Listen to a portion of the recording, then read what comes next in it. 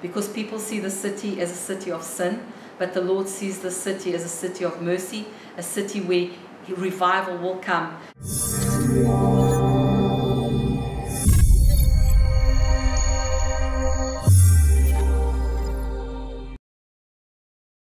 And we've been living in Thailand for the last 12 years um, in the city of Pattaya. Pattaya is the sixth capital of the world, and um, not only is there um, prostitution, but also there's a lot of um, human trafficking in, in, in the city. So initially when we got to the city, we thought that the Lord had brought us because of my husband's job, but the Lord had a different purpose, and the purpose He had for us to come to this nation is to tell people about Jesus that had never heard about Jesus. Um, through the years, the Lord's been confirming that the reason we are here is actually to equip Thai people to reach their own people. For different seasons, we have done different things like evangelizing to the, to the girls in the bars. The thing that the Lord is, is using us most in is in the house of prayer. So we've opened a house of prayer that is in the red light district. It's on the, the top floor of, of one of the buildings. And um, the house of prayer is for all denominations, for any ministry that just wants to come and intercede and stand in the gap for this city and for this nation.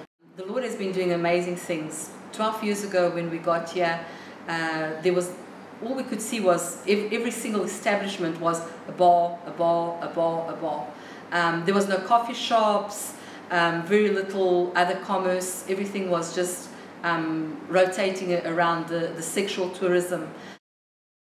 Um, we started praying, street walking, and really prayer walking the streets. And especially one area, we, we prayer walked it for a year. Every Tuesday and every Thursday night, we prayer walked it. After a year of stopping to prayer walk it, we went back and there was like a bar, but then there was a coffee shop, then there was a pharmacy, um, there was a lady that used to repair clothes. And so the Lord has been changing things like that. Um, when we initially got here, you wouldn't see a family walking down the road. It would just be old men with young girls or young boys. Now you see families walking in the street. So even though we still look at Pattaya and it's a little bit overwhelming, uh, we can see how God is transforming the city. And we know that all of it has got to do because there have been people that have been willing to spend time praying for the city, praying for this nation, praying for transformation. And the transformation is happening right now because people see the city as a city of sin, but the Lord sees the city as a city of mercy, a city where revival will come. And through the city, the whole nation of Thailand will be impacted.